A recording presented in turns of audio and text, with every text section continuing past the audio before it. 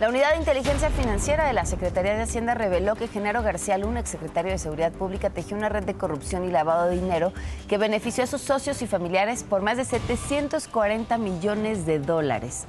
Recursos que se extrajeron del erario a través de 30 contratos públicos. En la mañanera el presidente habló sobre este tema.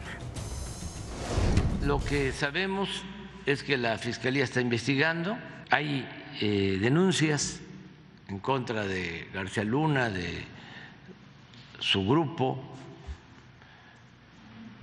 en la Fiscalía. Y existe la denuncia civil en Florida por los bienes que eh, se presume fueron fruto de la corrupción.